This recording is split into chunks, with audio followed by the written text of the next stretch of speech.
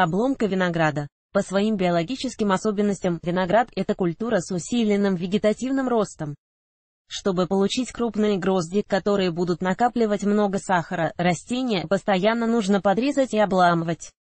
Важнейшей операцией является формировка. Обломка посинкования и чеканка позволяют ее поддерживать, соблюдать баланс между вегетативным ростом и плодоношением, сдерживать растущее водопотребление культуры. В статье будут разобраны каждая из операций.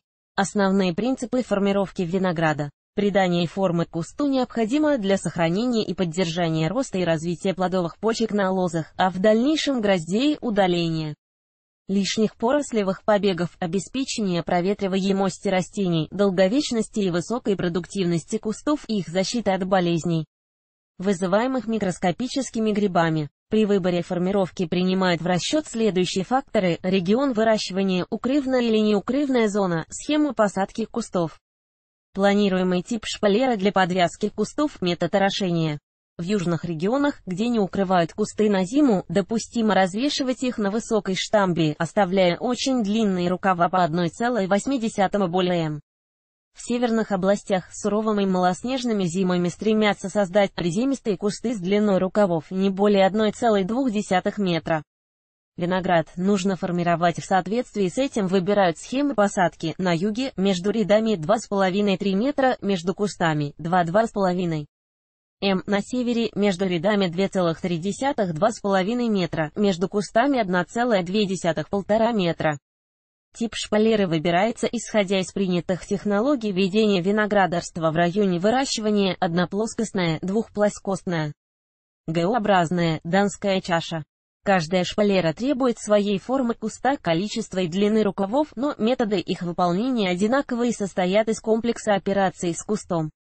Методы формировки – весенняя и осенняя обрезка многолетних частей куста и от плодоносивших побегов, обломка винограда, прищипывание. Верхушек перед цветением, посинкование, чеканка прироста совместно с посинкованием. Важно! Методы формировки нужно использовать в комплексе, невыполнение одной из операций приводит к ослаблению куста и потере урожая. Начинающим виноградарям рекомендуется постигать азы науки с начала вегетации.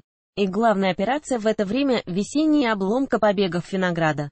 Тогда, пройдя весь комплекс работ с кустом, станет понятней, какую нагрузку сможет нести растение на будущий год и какое количество почек можно будет оставить на лозах осенью. Обломка винограда перед и после цветения. После раскрытия виноградного куста весной его подвязывают к шпалере. Эту работу важно выполнить до распускания почек. Обратите внимание, лозы в ранневесенний период очень хрупкие и при неумелой подвязке легко ломаются, а раскрывающиеся почки отпадают. Работу нужно проводить очень аккуратно. Распускание глазков в регионах наступает по-разному, но в основном к середине мая уже все почки, если они не пострадали от мороза, раскрываются. В это время проводится ранневесенняя обломка. Нужно удалить новые ростки внизу куста, на многолетних рукавах, а также на лозах, где образуются побеги рядом с центральным, так называемые двойники и тройники. Обломка винограда перед и после цветения молодой виноград удаление лишних побегов переносит спокойно. Процедура проводится внизу куста, все почки удаляют на высоту главного штамба. Она может составлять от 30 до 160 сантиметров. В укрывной зоне оставляет штамбу высотой 30-40 сантиметров. Удаление ростков перед цветением связано с нормированием количества гроздей и урожая. Процедуру проводят в момент появления соцветий. Нужно оставить определенное число гроздей.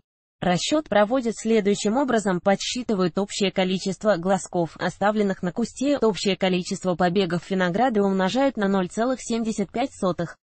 Так, если обрезка куста была выполнена на 30 глазков, то это растение в текущем году может обеспечить питательными веществами не менее 23 гроздей.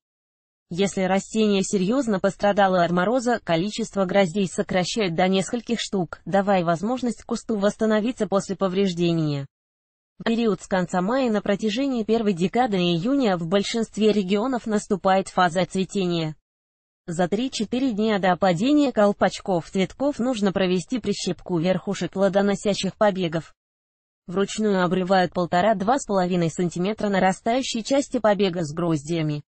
Это нужно, чтобы обеспечить лучшее завязывание ягод, поскольку после прищипки в грозд поступает больше питательных веществ.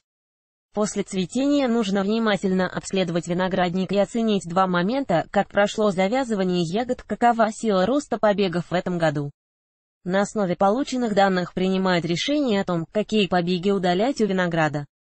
Если зависть хорошая, без горошине, то на побегах, где более одной грозди, верхнюю зависть нужно убрать. Если грозди рыхлые, то на сильно развитых побегах можно оставить по двум кисти.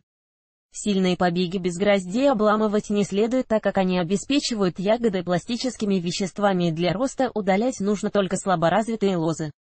Обломка винограда летом. В течение лета внимательно следят за развитием будущего урожая. Лозы по мере их отрастания подвязывают к соответствующей проволоке шпалеры. Важно! Растущие побеги нужно подвязывать под углом 65-75 градусов по отношению к поверхности почвы. Это обеспечит лучшую закладку урожая на следующий год. В пазухах листьев образуются побеги второго порядка пасынки. Им дают отрасти на 3-4 листа, а затем обламывают над первым или вторым листом. Не нужно стремиться убирать все пасынки и делать это слишком часто, так как это может спровоцировать рост пазушных почек с кистями и урожай будущего года будет потерян. Обломка винограда летом Кроме этого стоит учесть кое-какие нюансы. Часто заболевание винограда идиумом начинается с гроздей. Заболевшей кисти с синюшно-черными пятнами нужно удалить, обработать куст фунгицидом в надежде на спасение оставшегося урожая. Удаление зеленых побегов на молодом кусте винограда в конце июля способствует лучшему вызреванию лос и началу их подготовки к зиме. Из всех развившихся побегов нужно оставить 4-5, не более. В конце июля, начале августа выполнять чеканку верхушек на уровне верхней проволоки. Слишком длинные пасынки укорачивают. Повторять чеканку в конце августа нецелесообразно. Инструкция по обломке винограда для начинающих. Новичкам важно помнить, что от правильной обломки зависит текущий и будущий урожай ягод. Удаление лишних гроздей на винограде является не только залогом качественных плодов, но и напрямую влияет на долголетнюю продуктивность куста, поэтому жалеть кисти не нужно. Пошаговая инструкция по обломке. В мае после подвязки лоз к шпалерам удалить развивающиеся побеги со штамба, двойники и тройники. Перед цветением обломать лишние грозди, слабые побеги позже выполнить прищипку лоз над гроздями. После цветения выполнить вторую обломку лишних гроздей, оставив на лозах только нижние кисти. В третьей декаде июля выполнить осенкование и чеканку. Садоводам не стоит жалеть усилий, нужно, наоборот, проявить терпение в работе с лозой, и она обязательно одарит щедрым урожаем.